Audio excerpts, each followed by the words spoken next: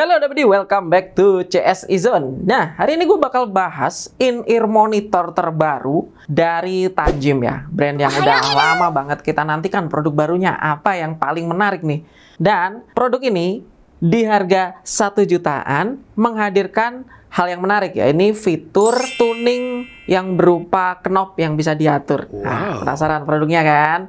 Langsung aja kita bahas Tanjim for You.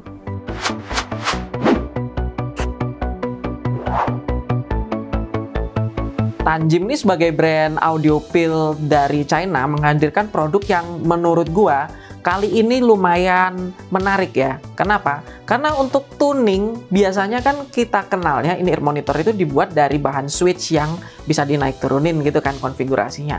Nah, Tanjim for You ini menggunakan konfigurasi yang sedikit berbeda, yakni dengan knob yang bisa diatur seperti baut gitu. Salah satu yang menarik juga adalah produk ini kolaborasi dengan HiFigo. Jadi cukup jarang sih produk ini di kalangan audio portable yang menghadirkan inovasi yang cukup modern di era-era sekarang ini. Nice. Jadi gimana? Langsung kita eh Jadi gimana? Langsung kita bahas aja yuk, mulai dari unboxingnya dulu.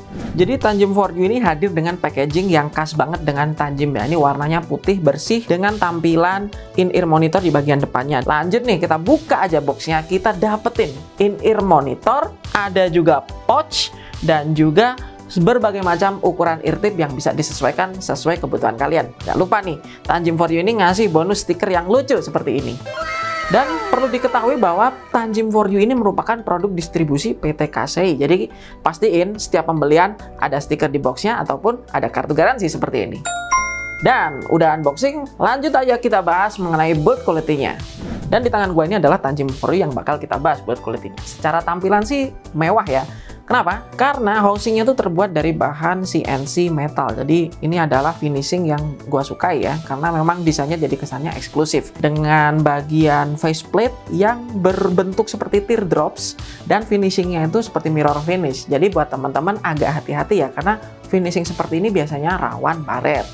Lanjut kita lihat di bagian dalam atau di bagian sisi dalam in-ear monitor ini ada knob atau bisa gua bilang ini seperti trim pot ya yang bisa diatur empat arah yang menentukan karakter suara dari Tanjim For You ini. Dan untuk in-ear monitor ini menggunakan konfigurasi dual pin dan kabelnya sendiri bisa dibilang sangat lentur dengan warna silver dan finishing glitter. Untuk konfigurasi jack, dia pakai konfigurasi jack 3.5 yang pastinya cocok untuk semua perangkat audio.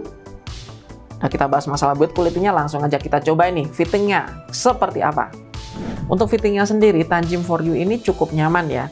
Dan desainnya memang mirip seperti in-ear monitor Moondrop seperti Moondrop Q ataupun Moondrop LAN. Jadi kalau kalian cocok dengan fitting kedua ini ear monitor yang gue sebutin tadi, nggak akan ada masalah kok dengan fitting yang dihadirkan Tajim for you ini.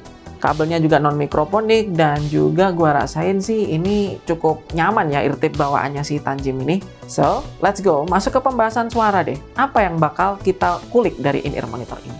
Ngomongin tentang Tanjim for you ini kita nggak lepas dari spesifikasi yang dihadirkan oleh in-ear monitor ini. Jadi Tanjim 4 ini menggunakan single dynamic driver DMT 4 Ultra di mana bahan dari membrannya adalah LCP. Nah, untuk sensitivitasnya sih lumayan ya. Bisa mencapai 122 desibel dan impedansi bawaannya sih 32 ohm ya frekuensi range-nya lumayan luas loh, dari 8 hingga 48.000 Hz. Jadi lumayan extend lah harusnya in-ear monitor ini. Wow. Jadi untuk konfigurasi yang dihadirkan oleh Tanjim For You ini ada 4 tuning atau 4 way ya. Dan bisa kita tandain dengan arah jarum jam aja ya. Untuk by default atau bawaannya dia di arah jam 3 itu adalah tuning, tuningan atmosfer Tuningan atmosfer ini menghadirkan karakter suara yang lebih ke arah Harman target atau Harman neutral. Dan untuk tuning arah jam 6, ini adalah tuning monitoring. Monitoring ini lebih spesifik ngurangin bassnya sehingga dihasilkan frekuensi yang lebih flat di low frekuensinya. Cocok buat teman-teman yang suka untuk monitoring berupa recording. Lanjut ke arah tuningan jam 9 jadi tuningan natural. Dari monitoring ke natural ini menurut gua frekuensi low-nya makin rapi aja. Dan yang paling menggelegar adalah tuningan di era jam 12 ini tuningan pop. Ya, ini cocok buat teman-teman yang suka dengerin lagu EDM karena karakternya jadi lebih V-shape lebih cocok buat lagu-lagu yang energik. Tapi secara umum gue bilang Tanjim for You ini memiliki arah tuning yang mengarah ke Harman neutral di mana low frekuensinya tuh gesit dan terkontrol mid range-nya tuh cukup sweet dan juga lebih engaging dan high frekuensinya tuh crisp dan enak banget buat didengerin dalam waktu lama ya karena detailnya cukup sparkling tapi masih terkesan sopan sih menurut gua. Secara presentasi gua suka banget dengan Tanjim For You ini dan variasi suaranya itu lebih ke low frekuensi dibandingkan frekuensi lain. Jadi ini bisa jadi alternatif buat teman-teman yang mungkin gampang bosen dengerin satu genre musik. Dan untuk perbandingan di harga yang sama, mungkin di harga sejutaan, memang banyak banget nih in-ear monitor di harga sejutaan yang menghadirkan konfigurasi Harman neutral. Let's say ada Tangzu Swan NV. Nah, ini bisa jadi head-to-head -head comparison dari si Tanjim For You ini. Menurut gua, presentasi Tanjim For You sedikit lebih open dan engaging daripada Tangzu Swan NV. Di mana Swan NV ini cenderung lebih santai dan lebih laid back ya tapi bukan berarti keduanya ini bermusuhan ya tentunya. Enggak, masih searah aja. Jadi semacam variasi aja. Jadi buat kamu yang cari referensi in-ear monitor, kamu bisa cek dulu mana yang kamu sukai. Jadi kalau teman-teman bingung, Tanjim For You ini untuk jenis musik seperti apa sih? Kalian bisa cobain in-ear-nya di CSI Zone. Tapi kalau kalian bingung juga nggak bisa ke CSI Zone, gua simpulin aja nih Secara umum, Tanjim For You ini dituning dengan referensi ke Harman target atau Harman neutral ya. Jadi buat teman-teman yang suka konfigurasi single dynamic dan suka karakter suara yang arah-arahnya ke Harman target, terus gampang bosen dengan satu jenis tuningan aja, ini bisa jadi alternatif yang sangat menarik ya.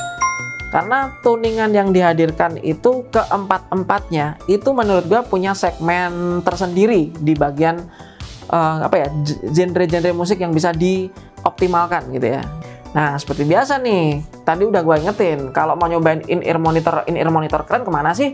Pastinya mampir ke CSI Zone dong. Dan kalau mau beli langsung ke mana? Cek CSI Zone di webnya ada, marketplace juga ada. Dan seperti biasa, agar channel ini makin rame, kalian bisa share video ini ataupun ramein segmen komentar di bagian bawah ini. Dan untuk tetap dukung channel ini biar makin gede, kalian bisa subscribe, aktifkan notifikasi lonceng, dan jangan lupa untuk nonton video kita di pembahasan kupas produk selanjutnya. See you next time, CS Zone, your best audio buddy.